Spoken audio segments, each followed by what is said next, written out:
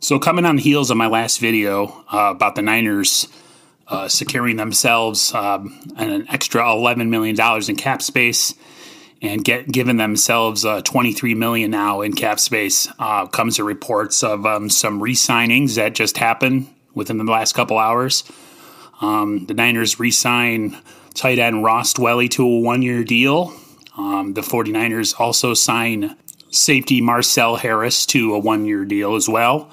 Um, the Niners, uh, with a move that I don't necessarily agree with, uh, re-signed um, Nick Mullens.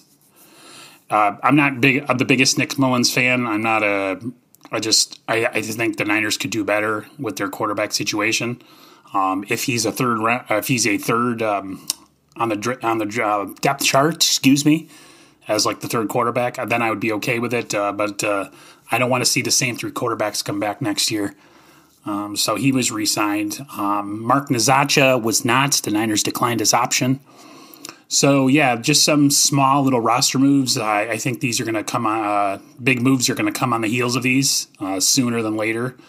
So everybody stay uh, plastered to their Twitter timeline. Um, if anything really big happens, I will make a video. But I just wanted to share this little tidbit of information. Um, I know this is my third video of the day, but uh, it is what it is. All right, guys. I'll see everyone on the flip side. Talk to you later. Bye.